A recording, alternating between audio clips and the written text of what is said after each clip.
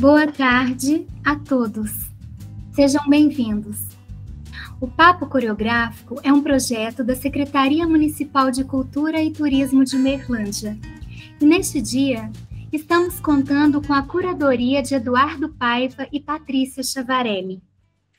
O programa de hoje traz aqui uma pessoa muito especial para a cidade de Uberlândia. Ela fundou a Escola dos Sonhos, genuinamente mineira, o estúdio Like Dança. O estúdio Like Dança iniciou milhares de bailarinos na dança clássica, sapateado, dança moderna e contemporânea, abraçando e promovendo a cultura brasileira a partir do estado de Minas Gerais. Esse trabalho lhe rendeu diversos prêmios, inclusive na Europa, formando uma identidade brilhante e muito peculiar, transmitindo ao espectador uma abordagem poética e inovadora ao mesmo tempo. Mas, como se não bastasse coreografar e ensinar, ela fundou um palco de arte que há 31 anos abre as portas aos artistas do Brasil e do mundo. Este palco já foi palco de dançarinos, atores, músicos, jornalistas e intelectuais, Além de promover a cultura local, o palco de arte também muito contribuiu para a miscelânea das linguagens, tornando-se um verdadeiro laboratório de artes híbridas. Sua fundadora, hoje especialista em eutonia, biomecânica do movimento e educação corporal infantil, segue contribuindo, sobretudo, para ampliação da consciência pelo movimento. Estamos falando de Fernanda Bevilacqua. Fernanda, seja muito bem-vinda ao nosso programa. Gostaríamos de saber um pouco mais sobre a sua história com a dança e, sobretudo, com este trabalho tão especial que você vem desenvolvendo aqui no nosso Triângulo Mineiro. Boa tarde, muitíssimo obrigada, Rosana, pelo convite. Muito obrigada a Patrícia e o Eduardo por estarem aqui comigo, é, sustentando esse momento de entrevista, porque são pessoas muito caras a mim, a minha vida, e, enfim, estivemos juntos durante muitas trajetórias e seguimos. E eu sou muito grata.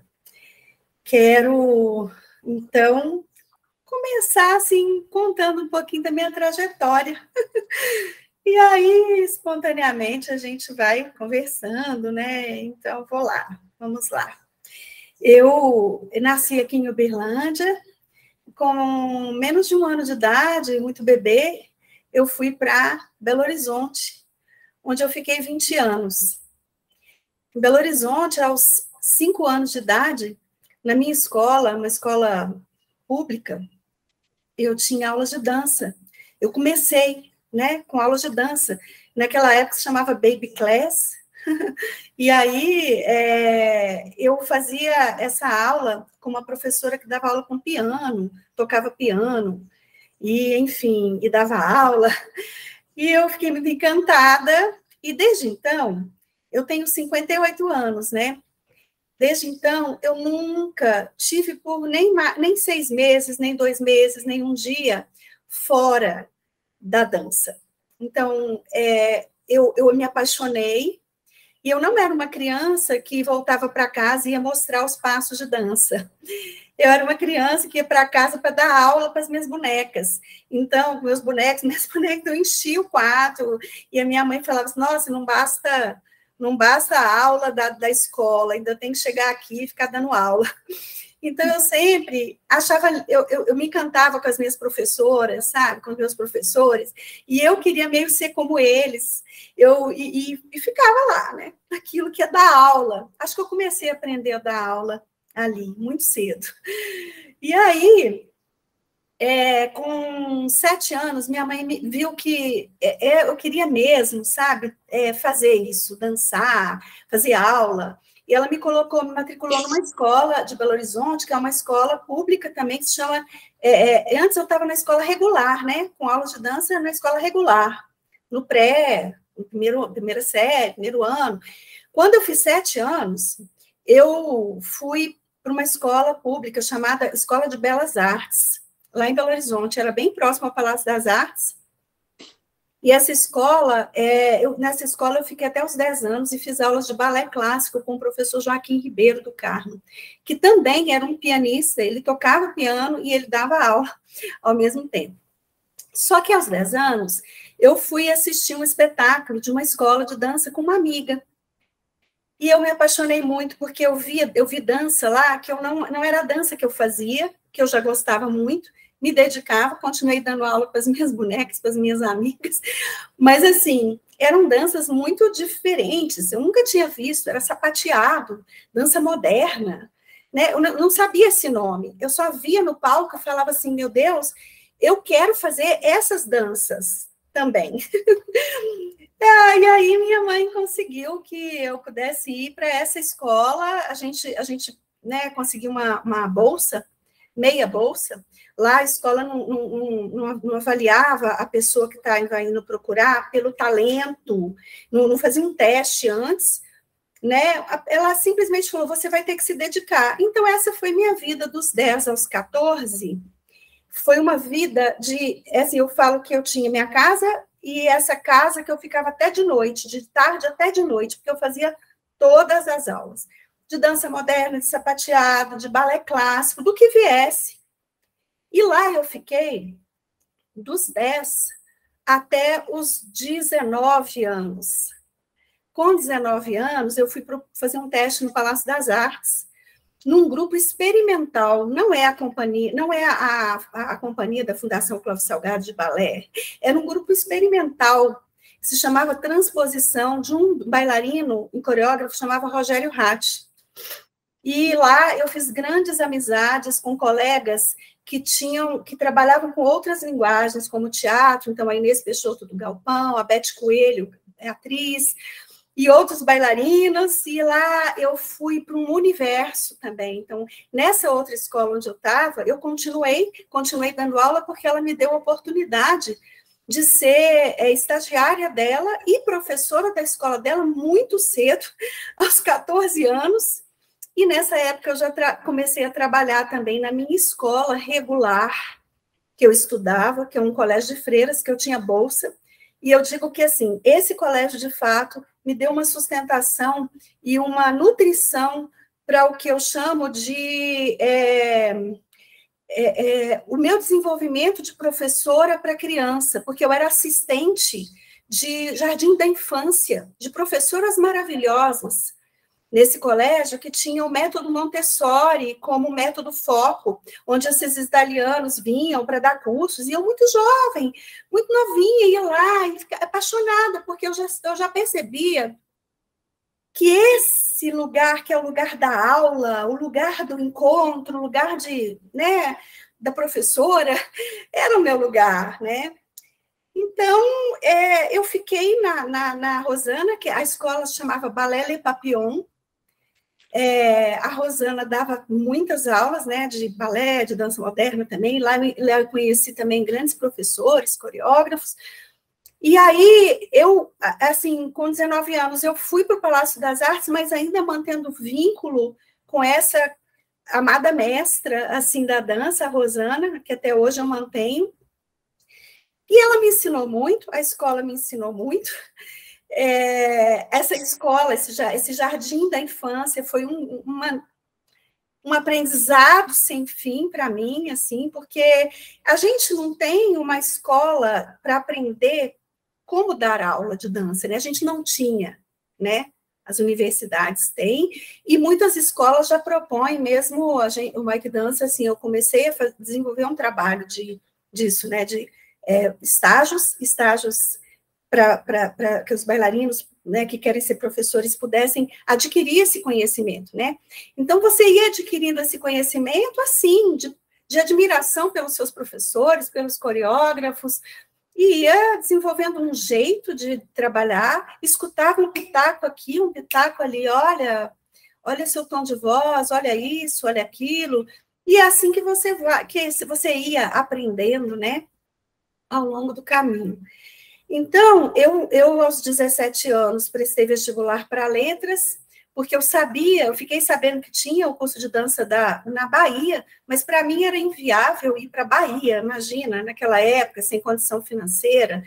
Então, assim, é, eu fui fazer letras, porque foi minha primeiríssima opção, segunda opção, que a minha mãe até estranhou, minha filha, mas não é educação física, né? É, eu falei, não, não quero educação física, eu quero é letras, porque eu já era muito apaixonada pela literatura, então eu fui focando na literatura e fazia a faculdade, com essa idade, 17, eu dava aula e dava aula, não dava aula mais no colégio, dava aula na Rosana e era secretária da, do Ballet Le Papillon. Por muito tempo eu fui secretária também.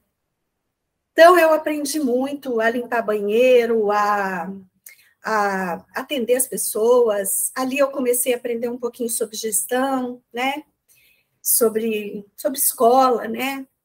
E aí, depois eu fui para o Transposição, né, lá para o Palácio das Artes, Viajei, conheci o que eu, entendi que era dança contemporânea nesse momento. Não com o meu grupo, mas com o grupo da Marilene Martins, que, que forma, que tinha ali a Dudude, né, que dançava ali, e ali eu vi um trabalho nas viagens, porque a gente viajava, eu falava, nossa, eu quero fazer esse negócio aí. O que, que é isso, né?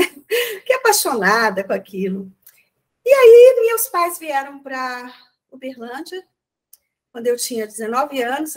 Meu, meu pai já estava aqui, minha mãe voltou, e eu resolvi ficar, mas eu fiquei um ano só. Aos 20 anos, eu resolvi voltar para Uberlândia. E é, meus colegas lá do palácio, né, a Beth mesmo, falou: vem morar na minha casa, você está doente, você está. Eu fui ficando doente, sabe? Assim, até porque eu fiquei pensando assim, se, se era isso que eu estava querendo me dedicar a uma vida de bailarina, sabe? Porque parecia que eu poderia fazer isso aqui. Mas, ao mesmo tempo, eu tinha milhões de dúvidas. Então, eu vim para cá meio triste. Vim para cá meio chateada, meio sem saber se era isso mesmo, e com muita saudade, meio adoecida. E aí, o que aconteceu foi que aqui eu fui muito bem acolhida, de cara pela Marildes, a Academia de Artes Música. A Marildes não tinha dança lá. E ela me acolheu sem me conhecer, né, por um currículo, né? E assim, não vem cá, porque eu queria colocar dança aqui. E foi assim, eu tenho uma eterna gratidão pela Marildes porque ela me deu, abriu as portas, né? Eu estava tão triste, fiquei três anos aqui, lamentando estar aqui em Uberlândia. Achava tudo muito estranho, sentia saudade, muito, muito jovem, muito indecisa, né? E a Marildes me abriu um universo. Eu, eu, eu, eu, estudei música dos sete aos 16 anos. Então, eu estudava violão, estudei piano, cheguei a ter uma banda de rock lá em Belo Horizonte com colegas de escola, sabe? Essa coisa bem amadora mesmo. E, assim, muito interessada pela música, né? E atravessada por isso, pela literatura. Então, quando eu entrei numa escola de música, a gente foi fazer musicais. E eu, nossa, nunca coreografei um musical? E fui coreografar Saltimbancos, eu, é, Alice no País das Maravilhas. Enfim, fizemos lá musicais, a Marildes me deixava criar, e logo depois a Betinha da Forma. Na Forma, também foi uma abertura de portas, de janelas, a Betinha muito aberta, uma pessoa, assim, para mim, né, naquele tempo, assim, Sabe, tipo, vai lá, faz, cria. Foi lá que eu conheci o Eduardo, foi lá que eu conheci o Jefferson, conheci o pai da minha filha, o Schmidt, que era da mesma turma deles. Dei aula para eles lá, uma turma de, de, de, de bailarinos, né? E assim, Humberto Tavares, e só pessoas geniais, né? Assim, imagina eu, eu ali dando aula para esses bailarinos e todo, cada um com genial, genial é assim, inteligente, pessoas inteligentes, acima de tudo, né? Quanto eu aprendi tendo essa oportunidade de trabalhar com bailarinos, que depois eu, eu, eu tive uma, uma, grande dificuldade de pensar, nossa, mas o Aikidança, nossa, não tem bailarino, bailarino. E aí eu tive essa grande chance, e a Betinha foi essa, que me abriu todas as portas também, sem restrição nenhuma, absolutamente sem restrição. Eu também tive a grande oportunidade de trabalhar é, na Regia. Regia era uma escola, tinha uma escola chamada Regias Academia. Então, foram essas três que me abriram as portas, sou eternamente grata, grata a elas. A Regia trabalhou na Secretaria de Cultura por um bom tempo, nos teatros também, depois que ela fechou a academia. E lá eu dancei com o Luiz Abreu, né? Que na época a gente chamava de Luiz Augusto. E ele era colega também deles lá na forma, e a gente fez uma grande amizade, né? Era muito muita efervescência ali. Ali a gente eu aprendi muito com a filha da Betinha, a Carla Brito. Uma excelente coreógrafa. Dançamos coreografia dela ela era assim maravilhosa e incrível mesmo, uma pessoa de respeito, assim, sabe? Ela hoje está na fisioterapia, no Pilates e tal, mas assim, para mim ela é uma eterna. A gente viajou muito juntas, eu e ela, para fazer cursos no Rio de Janeiro. A gente viajava, fazia curso o dia inteiro. Enfim, lembrando um pouquinho dessa época, o quanto eu sou grata a essas pessoas Aí eu resolvi, é, eu saí da forma e fui montar um espaço de dança, um, um, grupo, uma escola de dança, junto com mais duas colegas que eram da forma também, que era Liliane Tanus e a, e a Thelma Cardoso. A gente foi montou a escola Dança Escola de Bailados, na Rondon Pacheco. O Eduardo foi com a gente também, a gente tinha um grupo, a gente trazia o Armando Duarte, milhões de pessoas, assim, era, bem também muito bacana. Mas eu fiquei grávida da Yara, minha primeira filha. Liliane estava com o bebê e Thelma foi embora. Então, a gente, naquele momento, a gente sentiu, não damos conta disso tudo aqui. A escola estava crescendo, a gente não aguentamos. A gente fechou e eu voltei para a forma. Mais uma vez, a Betinha, super. Vem cá, Fernando, vem trabalhar aqui. Conheci o Max, um alemão que estava trabalhando na Betinha, que também me ensinou muito, fez um solo lindo para mim de com é, era uma ópera. Ai, foi muito bom, foi muito gostoso. E nessa época que eu voltei para Uberlândia, uma coisa que me nutriu muito foi eu tive a oportunidade pela primeira vez de participar de uma reunião dentro da Secretaria de Cultura, num quintal de uma casa. E era eu, o que eu fiquei sabendo depois foi a primeira Secretaria de Cultura de Berlândia na época da dona Yolanda, do Zaire Rezende. E aí eu ia meio que a convite da Marildes, e eu participava daquelas reuniões encantada, do tipo, mas é secretária de cultura, assim, ela está aqui do nosso lado, ela está conversando com a gente, como assim, né, no quintal? E eu ficava encantada com aquilo, ficava muda, porque aquele universo não me pertencia muito. Em Belo Horizonte eu não tive essa oportunidade, né? E nesse momento, assim, né, eu, é, eu, fui aprendendo muito sobre esse caminho, que é o caminho da afirmação política. Né? O Eduardo é, é uma pessoa que sempre foi assim, desde que eu conheci ele, desde muito jovem. E acho que ele me ensinou muito isso também, aprendi muitos com ele, muito com essas pessoas que participavam disso, que eram os, os, os, agentes da cultura, né? O Lucas Nascimento, o, o Fernando, pessoal muito naquela época já estava lá na secretaria, né? E eu, mas eu conheci eles assim, e ficava só ouvindo, né? Assim, olha, isso quer dizer que é isso, né? A gente, né? Isso faz parte dessa dança que eu tô, né? O que, que eu estou fazendo aqui?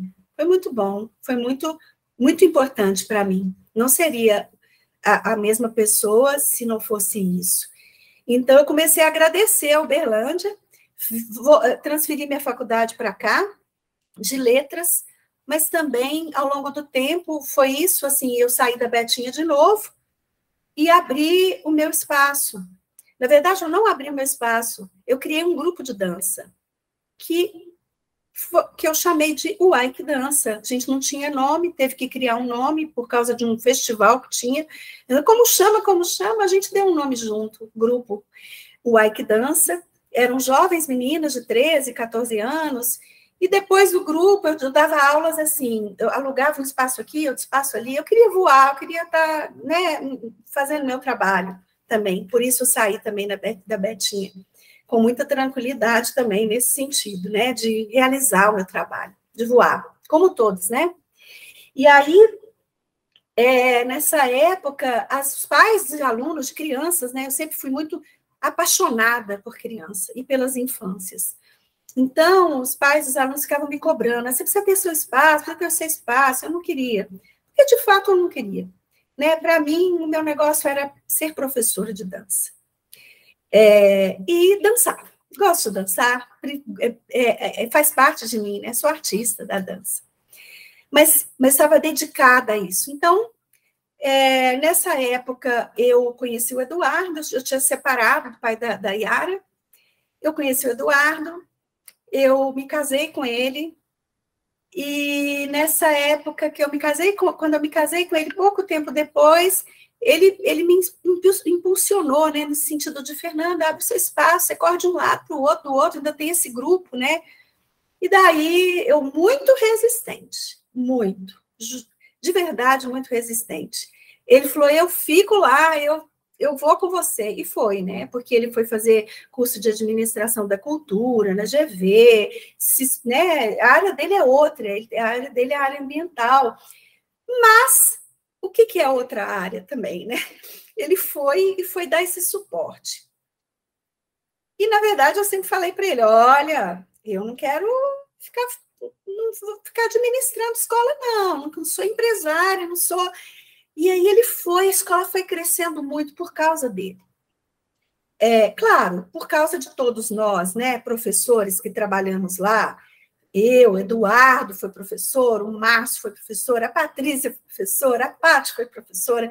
É até injusto assim falar tanta gente, a Rosane, desde milhões de anos, a Malu, e pessoas que foram, foram embora, outras vieram, mas sempre pessoas ali construindo esse lugar que é o Ike Dança, né? Junto comigo.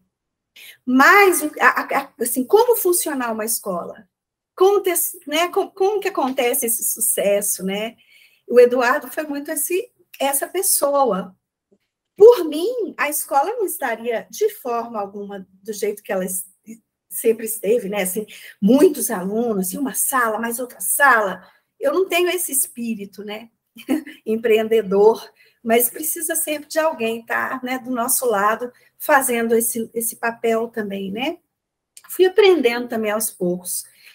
E aí o Ike Dança foi crescendo, a, gente realmente falou, não, precisamos de uma sede para o grupo, precisamos de uma sede para esses alunos, e o Ike Dança foi criando esse corpo, com professores maravilhosos, professoras maravilhosas, e que foram dando também essa cara do Ike Dança, pensando juntos, até que é, a gente achou que precisava de uma, mais uma sala. Essa sala foi a sala Isadora Duncan, que a gente batizou de Isadora Duncan, e virou o espaço, é, um espaço cultural. O Balé de Rua inaugurou essa sala, com cadeiras, a gente colocava as cadeiras, o Balé de Rua foi né, inaugurar uma honra incrível. A gente fez vários eventos.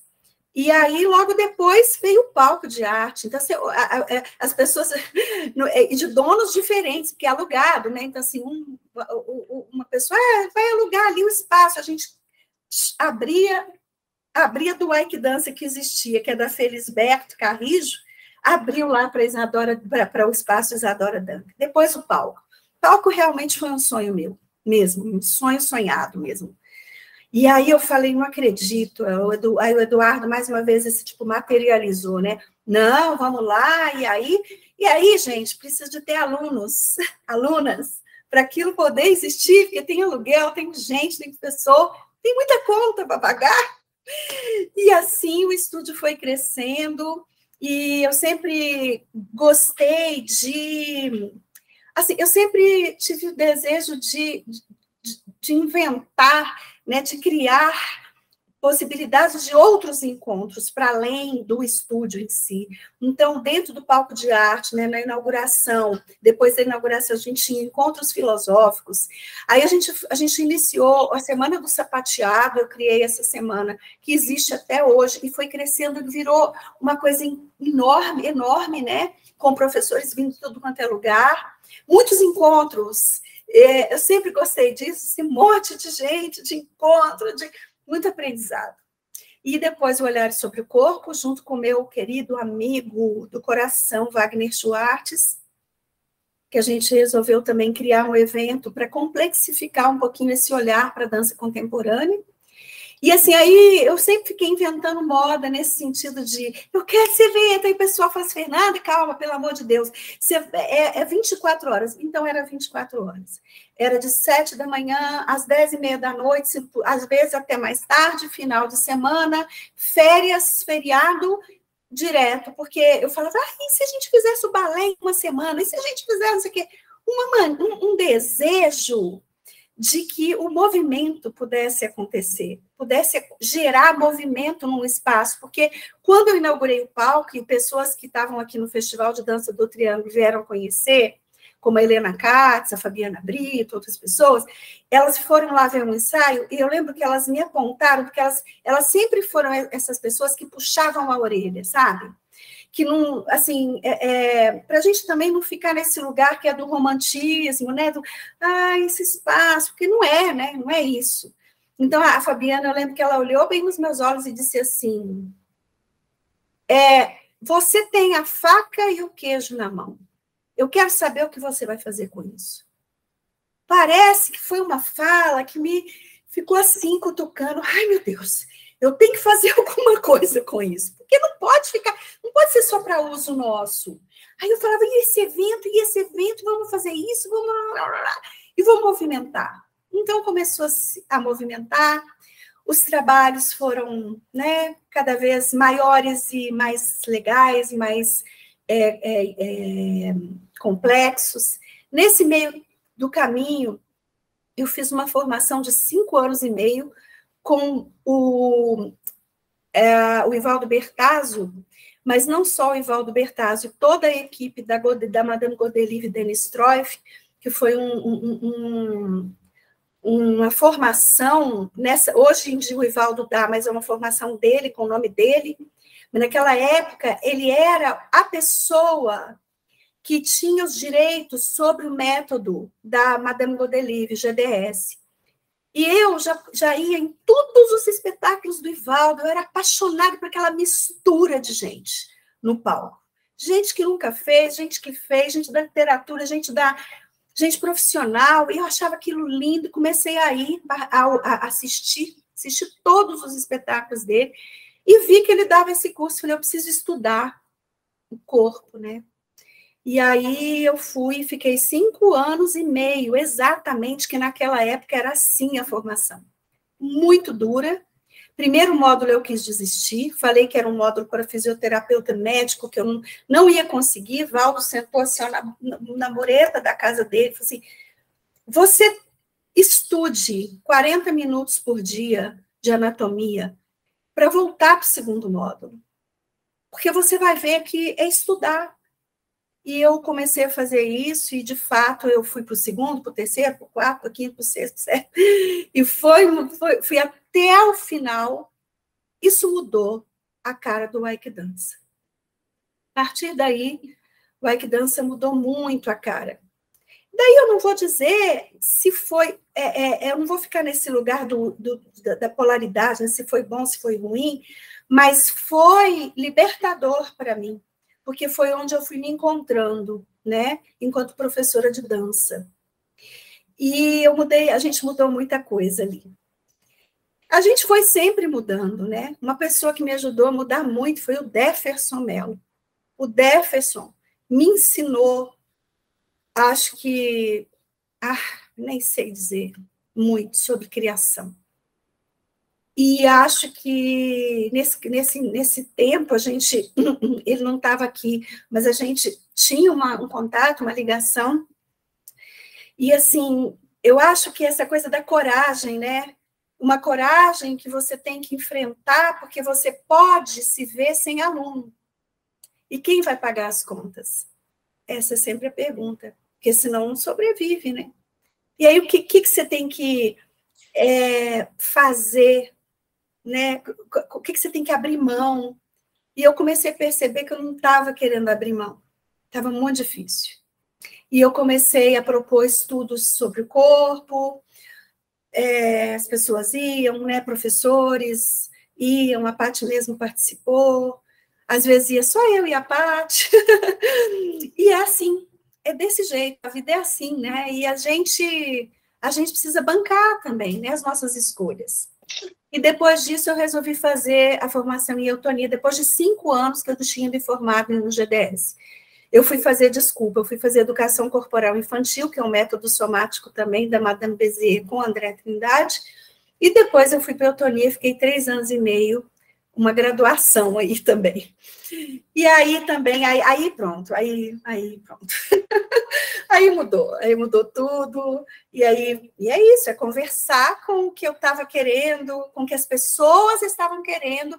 Nesse meio te tempo também, eu tive que desistir da letras, fui jubilada e fui fazer pedagogia com 40 anos de idade, então, eu fiz pedagogia, depois fiz especialização na UNB em arte, educação e, e tecnologias contemporâneas, e fui, fui estudar, adoro estudar, fui vendo né, o quanto a gente precisa iniciar todo dia. A gente não sabe, a gente, a gente precisa saber, a gente, não, é, não é que a gente precisa saber, mas a gente, a gente não sabe das coisas, né? A gente, que a gente faz.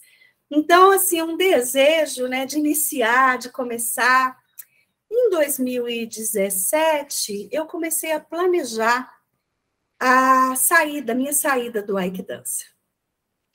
É, comecei a trabalhar um pouco em Lisboa. Em 2018, eu fui trabalhar em Lisboa, na Faculdade de Motricidade Humana, dei aula. Mas não que eu tivesse o desejo de ir dar aula e ficar lá. Mas eu comecei a ficar com o desejo de estar livre, dentro do Ike Dança, no, no sistema que eu estava, no pique que eu estava, eu não conseguia fazer mais nada a não ser criar coisas para mover, para aquele espaço funcionar e dar aula. E, e isso, e estar tá com os alunos, né? E, e, e mediar conflitos, né? Fui, então, eu, a pedagogia me ajudou muito, né? Entendi que era a educação meu lugar, né? Fui estudar isso. E aí, enfim, é, em 2017 comecei a planejar isso, as, a Rosane e a Pamela vieram para a sociedade, né? Vieram ser sócias, e foi maravilhoso. E aí, aos pouquinhos, a gente foi amadurecendo um pouco isso, mas aí é, a gente teve o, uma, uma, uma, questão que foi mudar o Ike Dança radicalmente a estrutura física, porque nos pediram para resolver o problema desse tanto de, de, conexão, de abertura de parede para fazer o, o, o, a sala Isadora, o palco, eram de proprietários diferentes, não podia mais, por regras né, da prefeitura e tudo.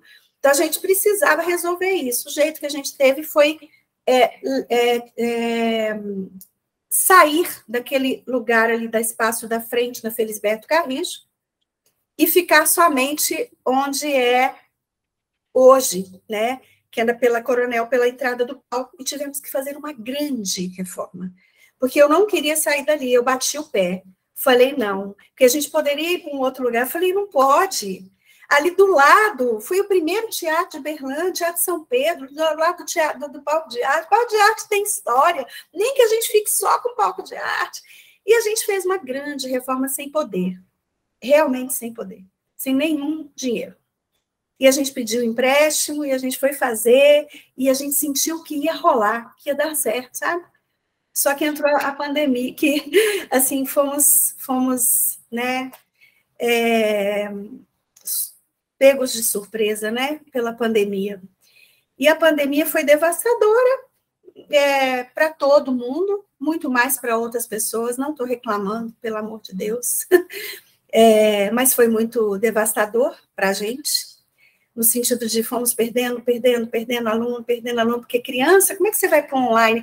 E eu fui uma crítica quanto mais do online a vida inteira. Quando comecei a ver na, na, na, nas, nas, nas né, na internet aula de balé online, nem, nem, nem tinha pandemia, eu falava, não, isso não existe. Como assim? Como que eu vou encontrar com alguém, pegar em alguém, falar? E aí eu tive que me ver nesse lugar, né? No online, com criança, gente, tão pequenina. Como faz? É injusto, né? E aí é muito justo que as pessoas falem: olha, não vou ficar. E aí, sem pessoas, como é que você paga as contas? Mais uma vez, né? Então, foi muito difícil. Eu vi professores tendo que sair, se virar, com uma dor no coração, a gente tentando segurar, pegando empréstimo para pagar a folha do, do, dos funcionários. Até o momento a gente ficou sem secretária, sem só gente. Eu, Du, Rosane e Pamela. E nesse momento foi o momento em que eu fiz uma grande reflexão na minha vida sobre tá na hora. É, e a Pamela é a pessoa que jovem que está no lugar de vamos lá. E eu sempre estudei muito com eles a questão da autonomia. Então, hoje, a diretora da, do Dance é a Pamela ela ficou com a Ike Dança, ela comprou o Dança, ela está comprando o Dança. E foi minha salvação, porque eu não sabia mais o que fazer, e ao mesmo tempo foi o momento em que eu respirei e disse: Oi, gente, está na hora, sou avó, mas eu também sou artista, e eu quero começar tudo de novo. E eu vou iniciar agora é, a gente fala que né, o artista da dança, o bailarino, a bailarina, que eles têm um tempo, né? Você dança até tal idade, depois você vai dar aula, sei lá. Tem uma, uma, uma coisa que é meio assim, né? Que eu não concordo com isso, não, mas eu, mas eu fiz isso durante muito tempo. Hoje, eu posso dizer que eu estou exatamente o contrário. Então, eu hoje estou iniciando e quero o quê? Dançar. Eu quero dançar, eu quero estar na rua, eu quero performar, mas eu estou só iniciando, então estou estudando e estou trabalhando muito com eutonia, que foi o que me salvou, que ajudou a gente a pagar nossas contas pessoais mesmo, porque assim, é, eu preciso dizer isso, né? Porque foi porque eu me, me, me aprofundei, mergulhei muito nos estudos do corpo, da biomecânica, da eutonia. Então, hoje eu faço muito isso, dou aula é, estudo ainda, dou aula aqui, dou aula aqui nesse espaço que é minha casa, dou aula no Ike Dança. e a Pamela é a pessoa do Ike Dança. Ficou lá esse nome, mas o Ike Dança não é o mesmo, porque o Ike Dança é da Pamela. Com a Rosane, que a Rosane está lá com ela, e outras pessoas chegaram, jovens, pessoas que estão no pique, e pessoas que vão fazer muito diferente. Ainda bem porque são elas, não sou eu, né? E eu estou muito feliz com essa possibilidade, num novo momento da minha vida. E digo que não é fácil, né? Não, não foi fácil falar assim, está na hora, mas estava na hora. E agora, cada vez mais, isso fica muito claro para mim. É, fico tão feliz de ver o Ike Dança crescer de um outro jeito, com a cara né, e com, as, com, com, a, com aquilo que a Pamela acredita e que as pessoas que estão com ela né, vão, vão fazer daqui para frente. E, e, feliz porque esse é um novo momento da minha vida, um momento de criação, estou no processo de, de criar pra, com outras pessoas que estão me, me chamando para fazer criações, né, para dirigir, para colaborar. Estou podendo aceitar um convite para ir para um festival para aula, coisa que eu não podia. Quantas vezes eu pude falar, poxa vida, não posso ir, porque, é, porque eu estava envolvida assim, absurdamente com as questões do Ike Dança. E é isso, o que eu, eu me sinto iniciante. Iniciante, completamente iniciante, olhando para trás, vendo tudo isso, que foi construção, mas, poxa, tenho os meus horários aqui que eu sento, como o Ivaldo me falou lá atrás, vai sentar e vai estudar. Então, estou nesse momento da minha vida.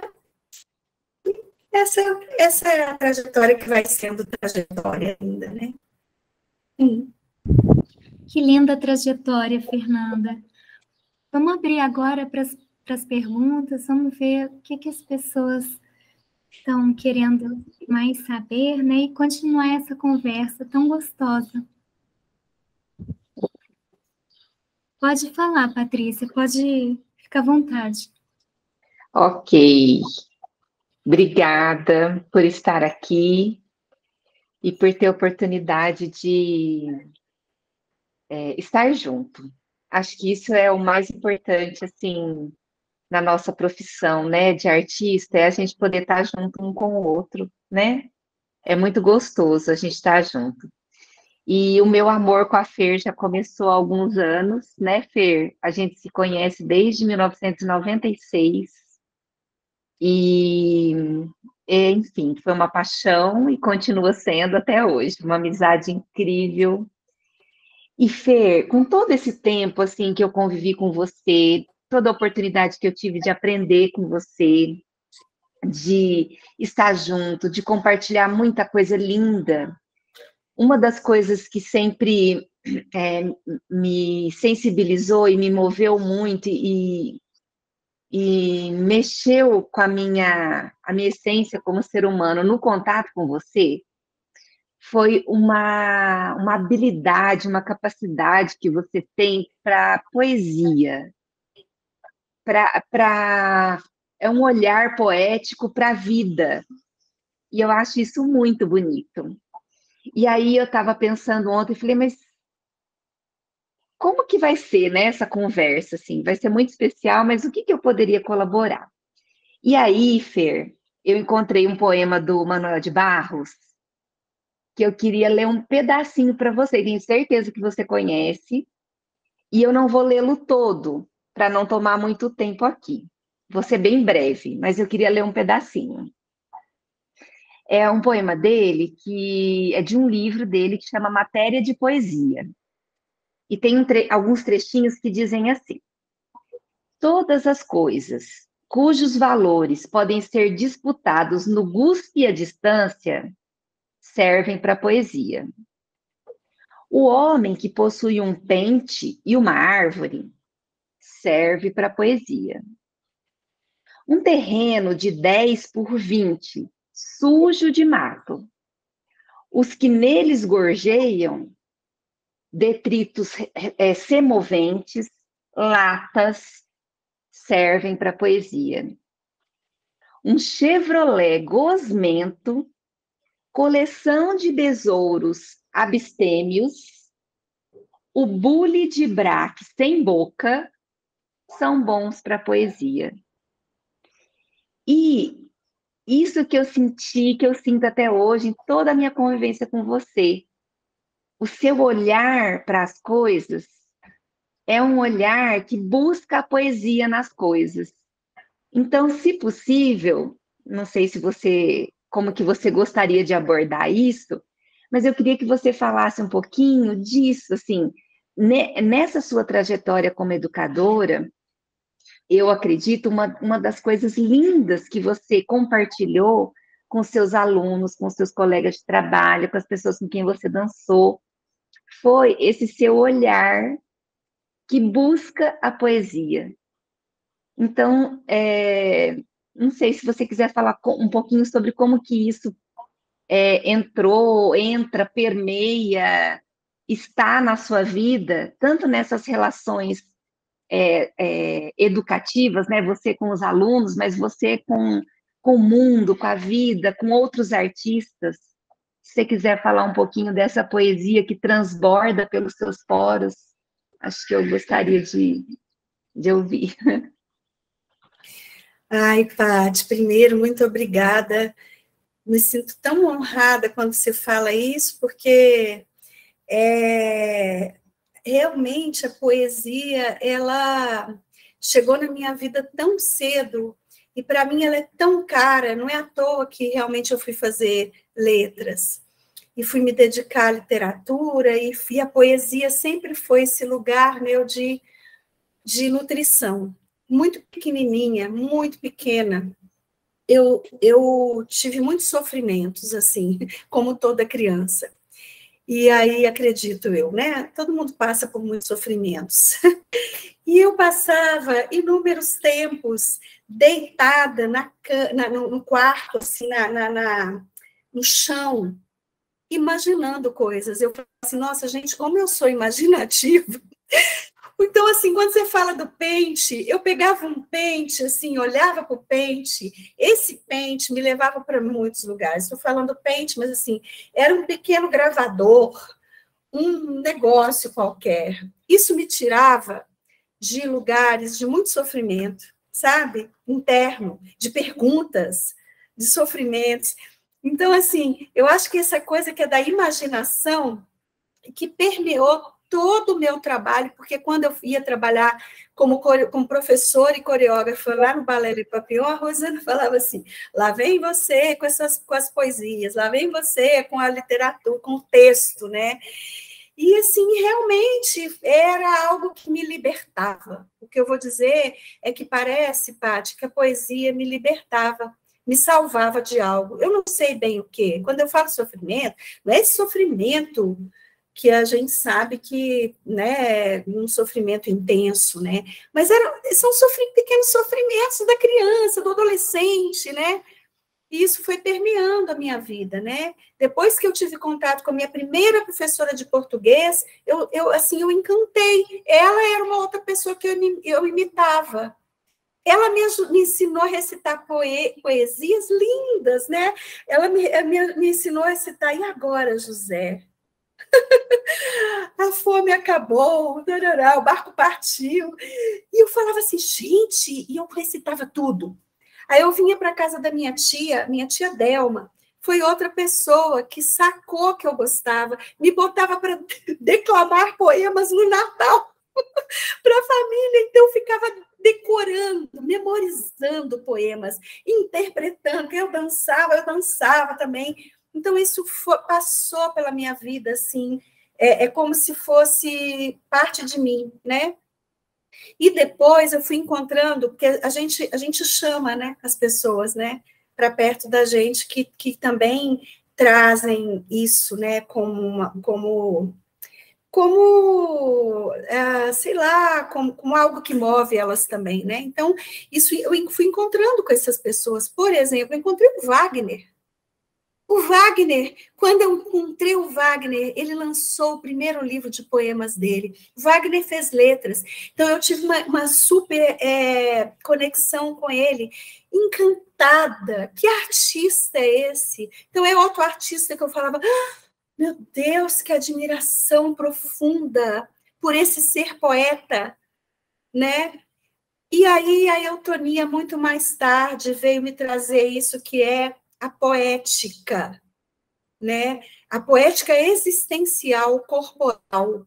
Isso que emerge do osso, quando você vai com atenção para a clavícula, algo se abre na sua poética, né? Assim, então eu acho que eu fui alimentada, Paty, forma.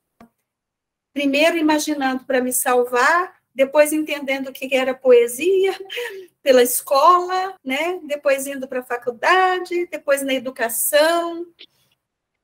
E foi, tem, e me alimenta muito, me alimento muito. E no, na, no contato com as pessoas mesmo, né? Com alunas, com alunos, com vocês, assim, o quanto os, os cada. Né, quantas vezes você já me chamou para assistir uma coreografia?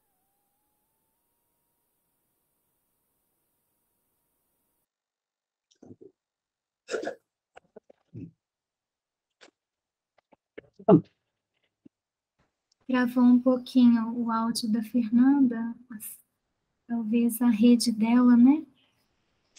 Eduardo, é, você, será que ela, ela pode escutar a gente? Talvez.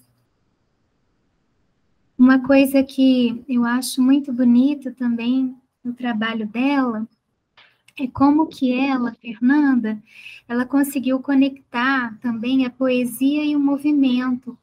Diversas vezes ela fez um trabalho tão interessante em que a dança ela, ela se casava com um texto, né? E esse texto era sempre poético e cheio de é, frases inusitadas, misteriosas, diferentes, né? Como que a Fernanda conseguia trabalhar movimento e e som e palavras e textos e poemas, movimento, corpo, palavra, né? E, e articular isso de uma forma tão inteligente e interessante que atraía a gente, assim, o olhar, mas atraía também, assim, por dentro a gente se sentia, né? Mexido, né? Com aquele trabalho coreográfico dela tão híbrido, né? né?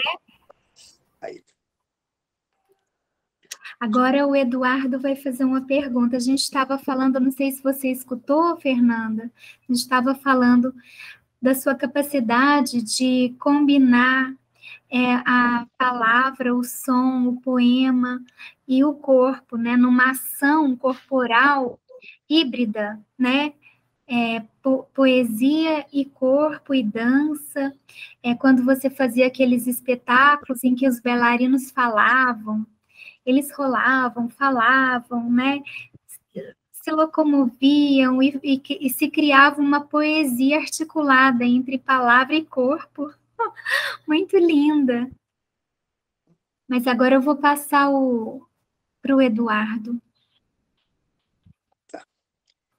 É, eu queria é, retomar a coisa lá do início, do, do ensino, de, é, do ensino da dança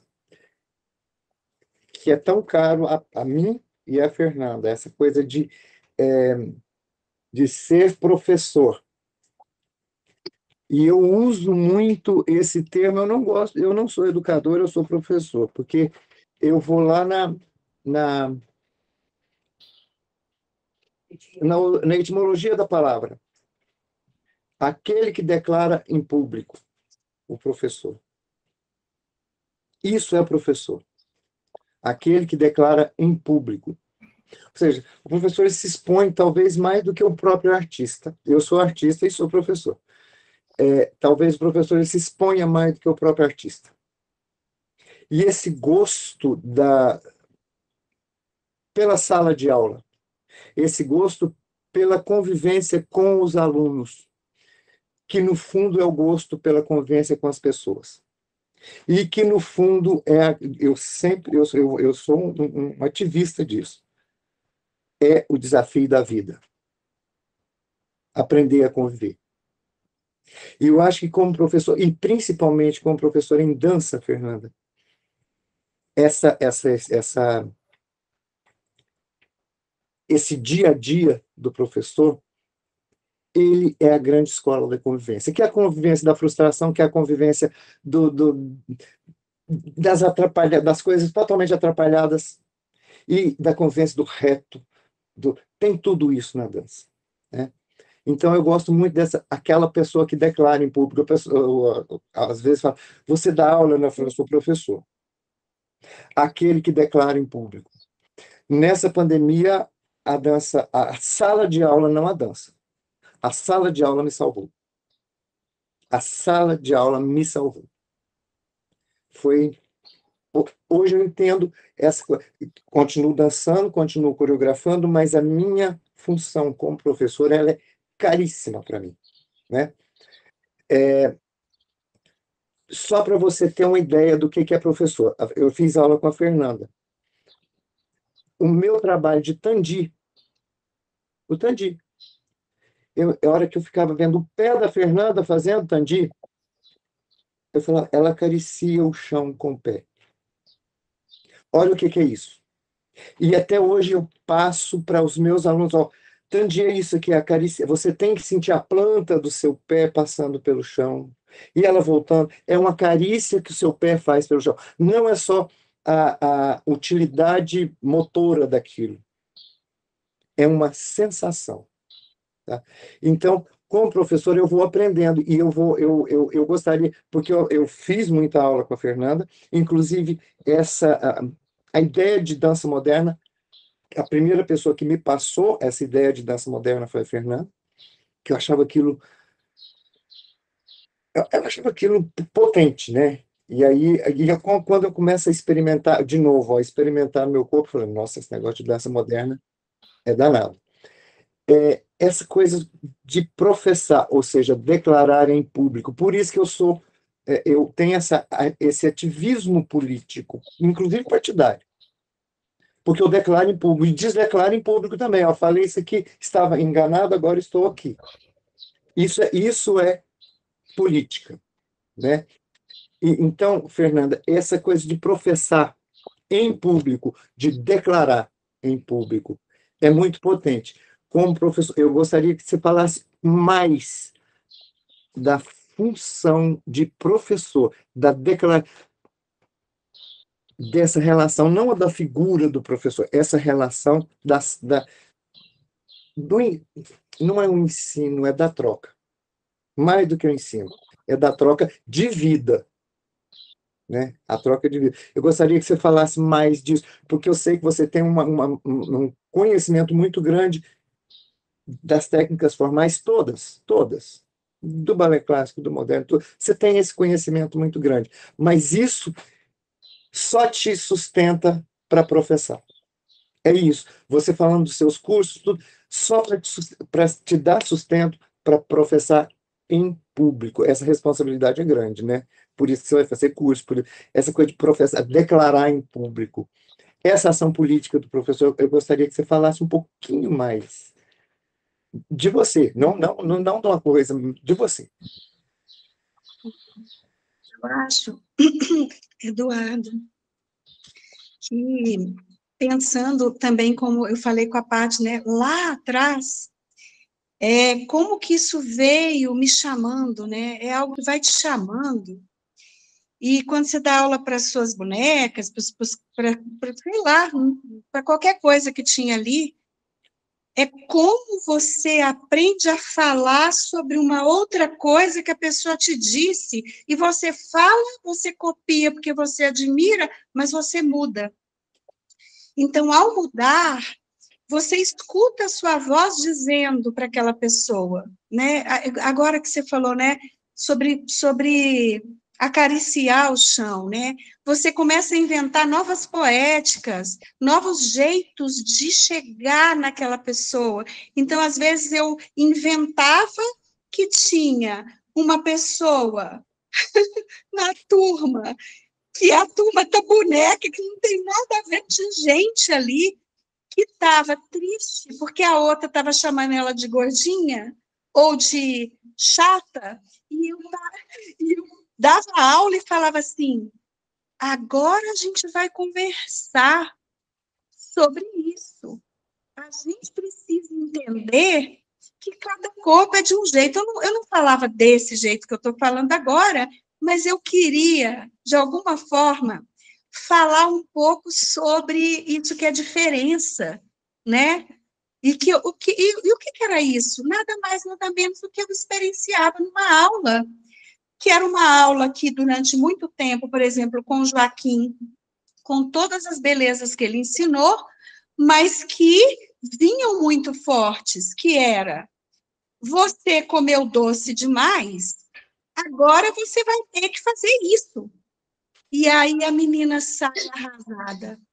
E aí parece que naquele momento, sabe, é meio uma coisa maluca, mas você está inventando um jeito de conversar com aquela boneca para ela não ficar chateada, porque o professor falou, porque, porque a colega falou aquilo com ela. Eu inventava novas coisas para poder chegar num vocabulário, né? Tão nova, eu era muito nova, né? Eu não sabia o que era isso.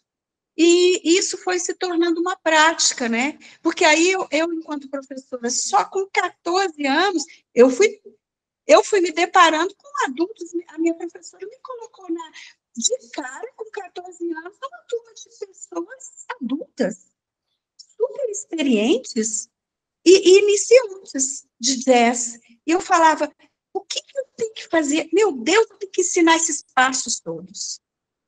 E quando eu percebia, não era aquilo.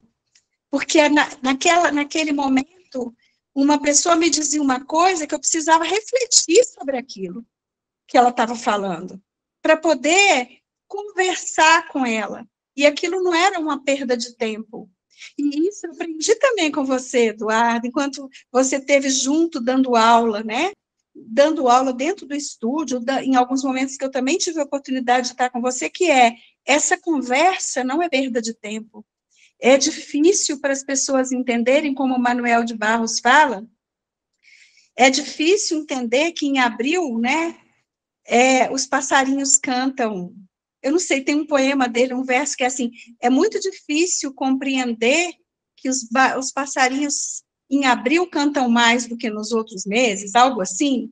Então, era muito difícil as pessoas entenderem que aquele tempo de conversa sobre um assunto que é a, vamos supor, é, a, tristeza de alguém ou a impossibilidade de ir para aula ou o cara que eu estou votando, que aquilo ali fazia parte da aula de dança, e aí, como todo, assim, eu acho que existe um desejo dessa coisa da utilidade, né, da produção, da produtividade. Então era assim, tá enrolando.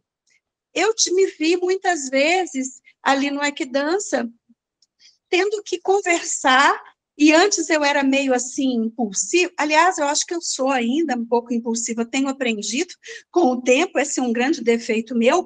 E a pessoa, a mamãe, alguém vinha falar comigo assim: por que, que você ficou esse tempo todo mostrando um vídeo? Mas olha só, e por que, que essa aula estava em silêncio e você não botou música? Eu ficava brava, né, há, muitos anos atrás, e falava assim: olha, é desse jeito que eu. Tô... E depois eu aprendi também com a Helena Katz, ela falava assim: passo de formiguinha, é devagar, calma, não queira resolver tudo de uma vez, né? Não só a Helena, mas tantas pessoas foram me ensinando, né? Quando eu falo isso, é todo mundo que vai assim, calma, Fernanda, calma. É, vai fazendo. O Marcelo Avelar foi meu professor. Falava assim: você é danadinha, né, Fernanda? Você vai comendo pelas beiradas até você ir fazendo o negócio lá do jeito que você entende que é, a gente corre o risco, né, Eduardo, das pessoas não, não quererem aquilo ali. E está tudo bem também, é legítimo, mas também bancar isso que é, para mim, é ser professora, isso que é professar, é isso também. Eu, eu vou ganhar esse tempo, sim, falando sobre esse assunto, porque essa menina levantou esse assunto. Se ela levantou esse assunto na aula de dança, isso é dança, porque isso é movimento. Então a gente vai ter que conversar sobre isso. E aí não é perda de tempo. E aí, em algum momento, essas mães iam entendendo que aquilo ali, aquele vídeo, também não é só um recurso didático. Aquele silêncio não é só porque era importante, mas ele diz muito. Né? Eu não preciso colocar música o tempo todo né? E assim, o que que é, é isso que é você entender essa estrada, né? Porque eu falo assim, a dança é essa estrada enorme, ou sistema nervoso. Imagina o sistema nervoso, né? Cheio de ramificações. Tem um punhado de estradinhas e uma estrada, você é afirmação política, ética. Na outra estrada, você está ali pensando em outras coisas, você, você afirma, eu vou afirmar o meu lugar de mulher nesse mundo patri, patriarcal, nesse outro, nessa outra ramificação, eu vou afirmar poesia. Nessa outra ramificação, eu vou sentar e vou escrever. A gente vai sentar e vai escrever. Então, teve um momento no Ike Dance que a gente propôs um trabalho que era com as crianças, que era mover o que tem para hoje. As, as crianças que ficavam esperando, esperavam muito tempo, a gente propunha sair com elas para a rua, para conhecer o Luiz, que é relojoeiro, que era do lado ali, ele não está mais, né? Mas ele era um relojoeiro, gente, relojoeiro, hoje, o mesmo naquela época, e o que, que é você conhecer os arredores, né? Aí eu falava, mas eu posso sair com essas crianças? Pode. Aí eu ia lá no Muna. Aí vai lá no Muna, as crianças chegavam e falavam assim, mãe, andei. Porque elas estavam acostumadas a ir de carro do condomínio até a escola, do condomínio até um certo lugar. Isso é dança.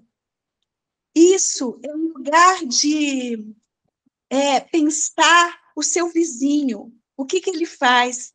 Ele pode ser seu público, mas independentemente de pensar que ele pode ser seu público, ele é uma pessoa que vai te abrir a caixinha criativa. Acredito nisso. Eu acho que eu acredito muito nisso que a gente, todos nós somos criadores, sim. Eu acho que tem isso que é assim. Uma vez eu ouvi alguém me dizer assim, né? E, e ouvi com um, um olhar atento. Calma, Fernanda, mas não é todo mundo que é criador. É, mas, mas eu acho, sim, que é. E eu, enquanto professora, que pro, vou professando, eu, o que eu busco é, é procurar que essa pessoa que está comigo entenda que ela pode, sim, abrir os recursos criativos dela, porque desde que, porque as crianças, desde muito cedo, em muitos casos, não é, não vou generalizar, evidentemente, são proibidas. Nos primeiros impulsos criativos, elas são podadas. Não, não fala isso. E isso, às vezes, é uma grande fala. Então, essa escuta, né? E isso que é deixa a criança, deixa, isso faz é, essa criança ir para o estudo de arte, mesmo que ela não queira ser artista, de um outro jeito, né? Então, eu acredito muito, eu acho que eu concordo plenamente com você, né? Que é assim, o que é poder dizer, eu sou professora? Quando alguém me pergunta, o que, que você é? Eu falo, eu sou professora. Quando eu é, ainda era, estava na direção do Ike Dance e tal, e que, esse, sabe, essas coisas de banco, de as pessoas que perguntam assim, qual a sua, professor, sua profissão? Eu colocava assim, professora. E eu nem colocava professora de dança, mas eu sei que eu sou professora de dança e de, sei lá, professora, né? Deve ter sido mesmo. Acredito nisso, fico, assim, é, acredito mesmo, de verdade nisso.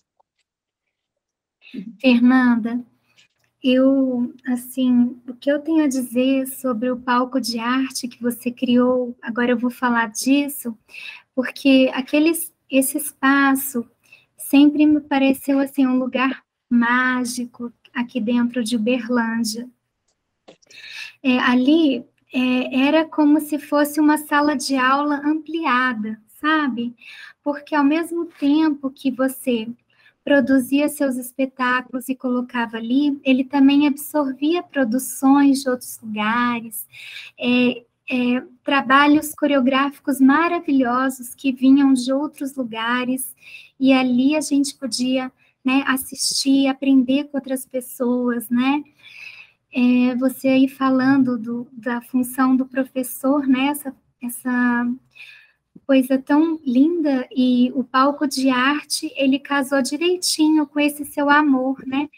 E quando você colocou, inventou o olhar sobre o corpo, foi também algo muito brilhante que aconteceu dentro do palco de arte, porque ali é, não era só dançarino, era arquiteto, era filósofo, eram escritores, pessoas intelectuais, jornalistas, todo mundo ali conversando e colocando, né, é, as suas riquezas interiores é, e, e, ali os bailarinos eles se enriqueciam de outras linguagens, a, as pessoas tinham a possibilidade de escolher abrir a sua própria mente, né?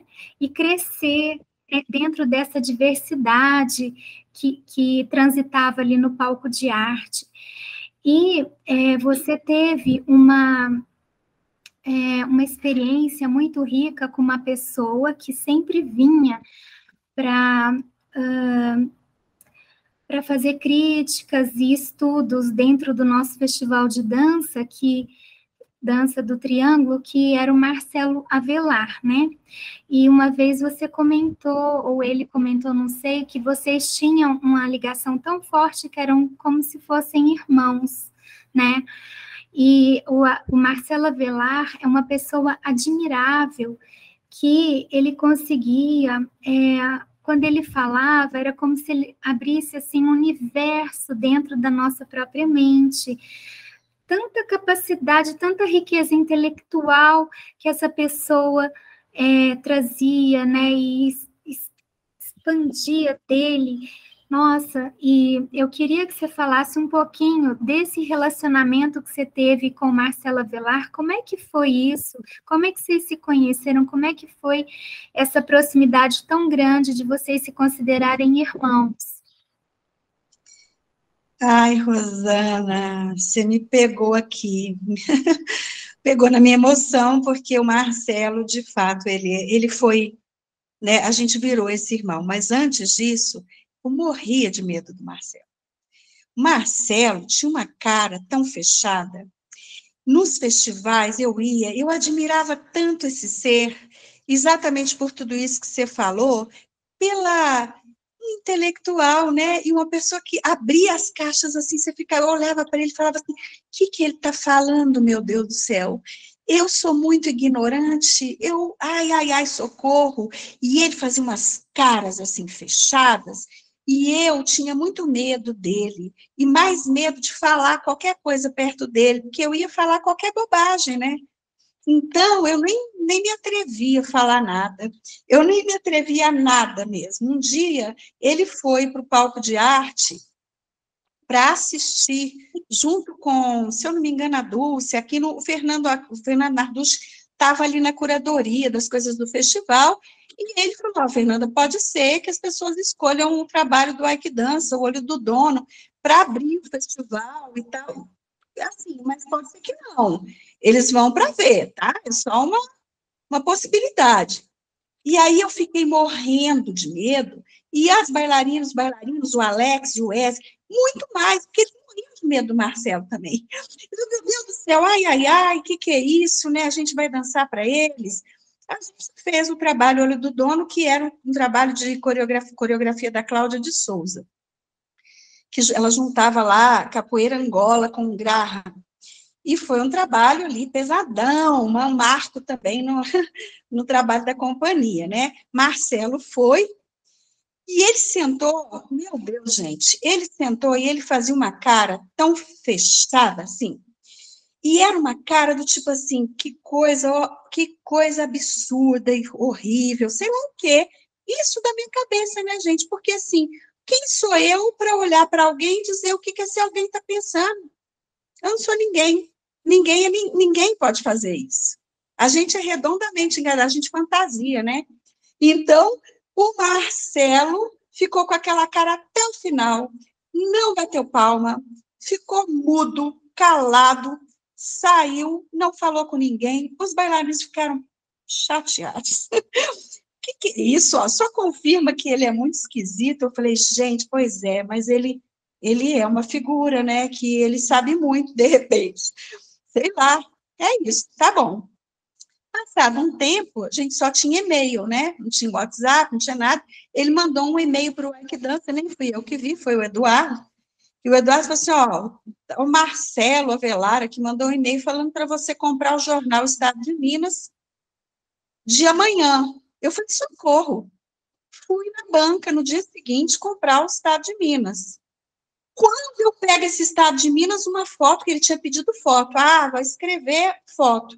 Falei, pronto, vai detonar. Porque o Marcelo era bem essa pessoa, né?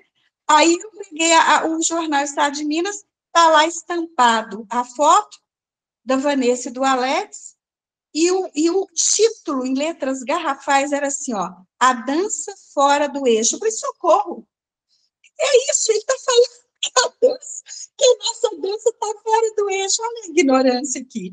E, na verdade, ele começa o texto falando: quem passar por Uberlândia nas, nos dias tais e tais, porque a gente foi fazer uma temporada, a gente abriu uma temporada de mais de um mês, não deixe de passar pelo palco de arte. Ele comparou a gente com um grupo de dança da Alemanha, sei lá, de, agora esqueci de onde, que eu nem sabia quem era. E eu falei, o que, que é isso? Eu li, mas como é que ele estava com aquela cara?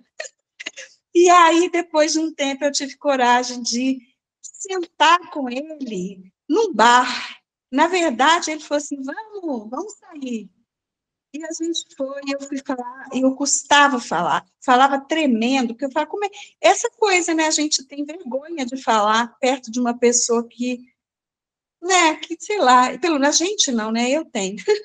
o Eduardo brinca que que eu sou, não tenho tiriquilha, ele brinca que eu sou a jiriquinha, que eu fico morrendo de vergonha, assim, e eu falava assim, Marcelo, eu te admiro demais, ele disse, mas por quê? Me admira? E a gente começou ali uma grande amizade.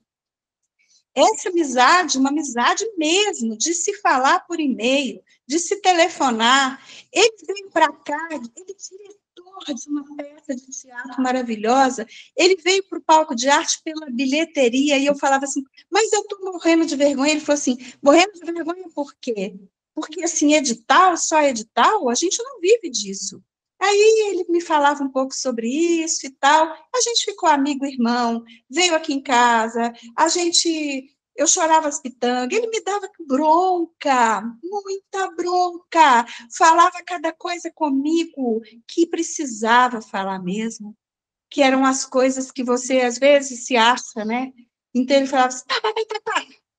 E esse era um amigo, né? Esse é o, esse é o amigo, né, da gente, que fala para a gente com sinceridade as coisas que a gente precisa ouvir, né, também, não só que vai te falar que você é legal. E aí ele me puxou muitas orelhas, ele me, me ajudou a parar um ano com a companhia e estudar para a gente poder criar o Venda, né? Dança um real. Falou assim: você está reclamando de quê? Vocês estão reclamando de quê? Que não tem público? Você sabe por acaso o seu vizinho conhece o Ike Dança? O que é o Ike Dança, filha? É, é isso mesmo. O que é o Ike Dança? Vai parar, vai lá sentar, e é nesse momento que você senta, fui, a gente foi estudar arte, consumo, Marx, e essas coisas todas, e a gente vai mudando, né, com isso, a gente vai se transformando. A dança vai virando outra coisa, as criações vão virando outra coisa, e Marcelo virou mesmo esse irmão para toda hora. Tanto ele podia contar comigo, quanto eu podia contar com ele, a gente estava junta. E a morte dele foi para mim uma grande facada, assim, eu fiquei mesmo deprimida. Eu fui para Salvador, que tinha que ir com venda, inclusive, com as meninas, e eu fiquei desolada, eu custei a fazer aquele papel de vendedora da dança, eu estava realmente muito triste. E ele, assim, a gente virou esse grande amigo. Mas você falou, Rosana, do palco de arte, eu preciso muito falar, e do Olhares, né? Eu preciso muito falar uma coisa. O palco de arte foi um sonho meu mas ele, ele virou um sonho de todas as pessoas que estavam comigo, e pessoas que trabalharam intrinsecamente dentro daquele palco de arte, para ele virar palco de arte. Vamos, Fernanda, isso vai dar certo. Então, tipo, a, o Alex, ele me ajudou, junto com o Du, a pintar, literalmente pintar as paredes do palco. Quando ele foi embora de Berlândia, ele falou assim: Eu me emociono de lembrar que a gente pintou esse palco, né? Materializou, né? E o Alex, ele teve ali, né? Nessa coisa de vamos sim. A Paty estava lá, é, o Eduardo não mais, né, Edu? É, mas tantas pessoas estavam lá e falavam assim, vamos, e essas pessoas construíram o palco de arte comigo. Então, eu não posso dizer que eu criei o palco de arte, sabe? O Eduardo, é, né, o Eduardo, meu marido, assim, as pessoas que estavam ali, e essas pessoas que estiveram, que não estavam mais, mas que, de alguma forma, atravessaram ali e falaram, oi, sabe, até como espírito. E aquilo virou e aquilo aconteceu. Aquilo é uma grande paixão mesmo. E olhares sobre o corpo é importante falar. Eu não criei o olhares sobre o corpo sozinha o, eu e o Wagner, numa conversa muito assim, de, de ironias e, e essas conversas do tipo assim, ai, que saco, só festival e parará, vamos fazer um negócio acontecer diferente? E o Wagner, vamos, mas com que dinheiro? Eu falei, uai, eu peço dinheiro emprestado aqui na, na perto do Ike Dança, aí nesse momento eu virei meio a produtora do Olhares. E o Wagner foi o curador. O Wagner escolheu essas pessoas que vinham a dedo. Ele fez o site, ele de longe, mas ele fez isso e outra coisa, a Like Dança Companhia, que junto comigo, Patinha, Pamela e Yara, na época, é, a, a Lu, a gente sentava e ficava lá, durante o do Olhares, é, fazendo cirurgia nos porquinhos para tirar os dinheiros. A gente produziu Olhares. A gente trabalhava, buscava o povo no aeroporto, buscava o povo na rodoviária, a companhia junto comigo. Então, eu não posso dizer que eu criei o Olhares, sabe? É isso sempre. O Olhares, o Wagner, né, gente? O Wagner foi essa pessoa que falou assim: tô fora, mas se você produzir, eu tô dentro. E aí ele vinha de lá da França, né? E aí essa inteligência toda, essa, essa, esse conhecimento com outras pessoas. Então, no Olhares, eu fui meio aluna de professores que vinham dar curso, quando rolava eu ia lá para fazer uma aula e ouvia todas as palestras e ao mesmo tempo produzia, né? Era trampo o negócio ali, filha. Porque antes eu ia em cada casa perto do fundinho com a cara e coragem junto com as meninas. Você pode me dar 100 reais? Você pode me dar 50? Você pode me dar 40? Que é para pagar a passagem do primeiro olhar sobre o corpo, que foi com a Nirvana Marinho. Ela veio com esse dinheiro do pede emprestado, amigos do fundinho que a gente criou. E depois se foi se expandindo para os porquinhos. Né? Então, é, é, isso, assim, é importante dizer, sabe por quê, Rô? Porque é, eu, eu fico pensando o quanto é importante trazer as pessoas com a gente para a gente sempre lembrar que a gente não criou sozinha, sabe? Que a gente não fez nada sozinha. Então, assim, nesse sentido é trazer, é, é tudo, assim, tudo que aconteceu foi porque, igual a Paty falou, igual o Eduardo também, porque tinha gente perto. Se em alguns momentos a gente pega e se acha, né? Ai, né? Olha o que, que eu fiz. É porque a gente, a gente tem vaidade, né? A gente tem isso, mas a gente amadurece, né? A gente cresce, a gente amadurece. Quantas coisas mudaram no Like Dança que eu acreditava piamente, por exemplo, competição, e que eu resolvi, puf, cortar. Quantas pessoas falaram assim, que absurdo, você está cuspindo no prato você comeu, você ganhou prêmio na Europa. Sim, foi muito bom, mas eu saí dessa. Mas por quê? Por causa de uma coisa que o Eduardo também me ensinou. Vai pensar o que significa, não isso, porque não sei nem qual é o pensamento exato do Eduardo sobre isso, mas assim, o que, o que significa isso que é competir? Isso pegou firme para mim. Pessoas vieram me falar sobre isso. Eu fui estudar o que, que é isso, né? E o que, que significa? Eu via crianças sofrerem, pessoas sofrerem, não queria mais, mas não que isso não fosse legítimo, não que isso não seja legítimo para algumas pessoas, é porque isso não faz sentido mais para mim há mais de 15 anos. Mas durante esse tempo, só para vocês verem, há algumas alunas, poucas, que quiseram ir para a Alemanha, para um festival de super balé, assim. Fernanda, por favor, eu sei que a gente não tem competição, mas vamos. Eu falei assim, vai, vocês, porque vocês têm autonomia. Eu não vou. Eu não vou, eu não acredito. E elas foram, tiveram uma experiência e voltaram com a experiência delas, é. Uhum. Legal. então é isso, né? É bom a gente é, reforçar que o palco de arte, com tudo que aconteceu nele, teve gente ali fazendo acontecer. A Yara Magalhães ficou tempos naquele palco fazendo um, uma, um evento lindo que era, se eu não me engano, era, do, era, era um evento só de vídeos, né? Evidentemente, mas eu esqueci o nome agora. Tinha domingo pé de cachimbo, que eram pessoas que vinham querendo encontros filosóficos, as pessoas vinham, ó, oh, Fernanda, dá para fazer? Vamos fazer agora.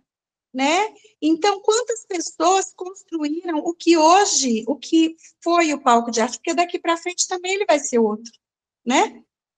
Então, é isso, Rô. Obrigada por me lembrar do Marcelo. Nossa, muito bacana tudo que você falou. Alguém mais quer fazer alguma pergunta já para a gente fechando o programa? Não? Então, Fernanda, eu agradeço muito. Lembrando que o Papo Coreográfico é um projeto da Secretaria Municipal de Cultura de Uberlândia, Cultura e Turismo agora, né? E eu quero agradecer também o apoio e incentivo do nosso diretor, o Alexandre França, que é diretor de cultura, e a Mônica Debs, a nossa secretária de cultura, que sempre está nos apoiando e no, nos incentivando né, nesses projetos aí novos da secretaria. Muito obrigada e que você seja muito feliz nessa nova fase de recuperação assim da dançarina que na verdade sempre esteve aí dentro, mas que agora vai poder dançar cada vez mais, né? Obrigada. Eu agradeço muito também, agradeço a esse projeto lindo da Secretaria de Cultura, Alexandre, Mônica, querida, pessoa que sabe escutar, né, todo mundo. e muito obrigada, Rosana, brigadíssimo por trazer essas duas pessoas que são meus irmãos também da vida, né, uhum. né, meus professores. E eu voltei aqui para fazer um agradecimento especial para as minhas duas filhas, Yara e Clara, porque elas são a minha fonte de inspiração, de aprendizado, de criatividade e a minha alegria de viver.